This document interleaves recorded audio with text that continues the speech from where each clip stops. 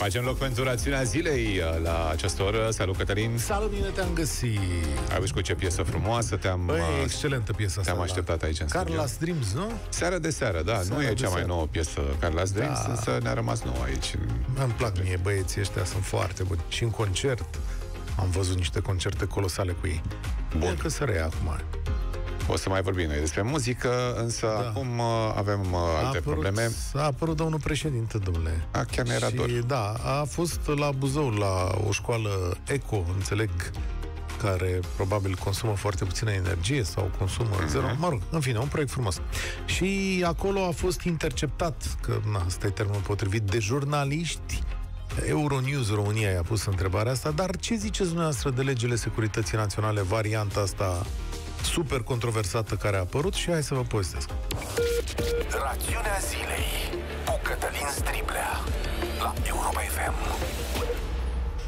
E, președintele a avut o reacție care m, spune așa pe scurt, domnule, o să facem, o să rezolvăm lucrurile, nu o să rămână așa. Nu vă faceți griji, uh, dar a vorbit într-un fel foarte interesant și aici vă solicit un pic de atenție. Domnul Claus Iohannis spune așa că aceste 10 legi sunt, care au fost publicate în exclusivitate de publicația G4 Media, știți, ieri Dan Tapalag a fost la noi, aceste legi reiau, spune președintele, sunt doar un draft, un proiect. Ele nu erau destinate publicului larg. Și aici citatul. Cineva, și știm cine, a considerat că e bine să le dea pe surse. E o eroare majoră. Oamenii sunt îngrijorați. N-am înțeles ce e o eroare majoră. Aici am închis citatul.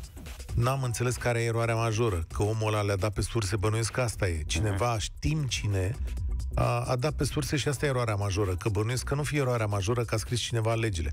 Că atunci așa ar fi trebuit să zică. Modul în care au fost scrise aceste legi să- e o eroare majoră. Nu îmi place că domnul președinte a rostit o amenințare, adică nici de la înălțimea unui șef de stat. Țineți minte, nu e bine domnul Chestor? Nu e bine? Ia Al să lui nu Traian cunosc, Traian da, Băsescu? Traian Băsescu, da. Nu e bine, domnul Chestor. Nu e bine. Asta e. Știm cine a dat aceste legi. Nu e bine, domnul Chestor. Sau cine o fi fost că le-a dat. Nu e un președinte, măcar asta am învățat, nu? Din urmă cu 10 ani. Un președinte nu amenință public pe nimeni. Eu mă aștept ca între politicieni să se plătească polițe, dar la nivelul ăsta nu amenință. În fine. Și acum și la cealaltă chestiune, cea de fond, Spune așa președintele, dacă anumite abordări din primul draft nu sunt corecte, vor fi corectate. Nu-și dorește nimeni o restaurație a vechii securități. Sunt speculații pur și simplu eronate, eronată e și scurgerea acestor prime forme către media și în final am trecut de această fază. Personal mă voi îngriji ca acolo unde draftul nu a avut o formă corespunzătoare timpurilor noastre să fie corectat. Îngrijorările nu sunt necesare. Zice președintele și lămurește această problemă. Deci eu înțeleg așa, că unde erau acele chestiuni controversate, uh, aveți obligația să ajutați serviciile secrete. Știi, aia, are, n-are treabă, ajuți un serviciu secret să treacă strada. Uh, ce mai erau acolo? Faptul că uh, nu, asta n-a zis. Fapt, că nu vor mai fi controle, da? Că nu vor mai fi controle, că Comisia de Control că nu mai prezintă rapoarte, deci eu înțeleg că astea le modifică sau sper că astea le uh, modifică. Și e important că zice că nu dorește nimeni o restaurație a vechii securități. Sunt speculații pur și simplu eronate. Astea nu sunt speculații. Aici președintele e de contrazis. Nu sunt speculații. E sunt un proiecte. text citit E un text de citit de toată toată lumea. lumea, da. Nu, nimeni nu speculează pe el că scrie în text. Și am întrebarea este către domnul președinte, nu cumva ar trebui să fiți mai îngrijorat de cine a scris textul ăsta? Adică asta să spuneți, băi, îl voi chema la raport pe cetățeanul ăsta și îl voi întreba, sau pe cetățenii ăștia, sau pe instituțiile astea, dar de voi de ce gândiți așa?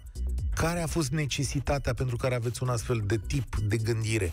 Pentru mine asta ar fi îngrijorător, nu cine le-a dat în presă. Cine le-a dat în presă, le-o fi dat cu motivele lui și sper că unul dintre motive să fi fost o dorință de democrație mai mare. Na, uite, mă gândesc și, uh, și la treaba asta. Astea sunt lucruri la care domnul Claus Iohannis. E totuși bine că a avut o reacție, ce Da. e drept întrebat. Întrebat, Vorbesc sigur. că nu se apuca să vorbesc acum, având Așa în vedere că că era la o școală. Bine că a fost întrebat, bine că a răspuns și bine că nu are îngrijorări. Că asta am înțeles din uh, ceea ce a spus, că îngrijorările nu sunt necesare. Așa, uite Deci că a schimbat gata. cumva expresia. Uh, subiect închis, cum ar zice domnul președinte, dar, atenție, și asumare politică. Deci ăsta e textul unei asumări politice, pentru că acum când draftul ăsta pe care populația nu-l știe, acum zice, deci este unul secret, așa, care e ăla adevărat, la bun, cum ar fi, la care să discută, când draftul ăsta va ieși public, când proiectul ăsta de lege va ieși public, trebuie să iasă fără chestiunile astea. Așa și-a asumat domnul președinte Claus Iohannis, că ce era rău în această lege Va dispărea. va dispărea. Da. Mulțumim pentru comentarii, Cătălin. Uh, Bineînțeles că o să urmărești subiectul Bă, și îți o dai să seama. mai povestim uh, Cu pe ce tema. plăcere, da, da, da, da.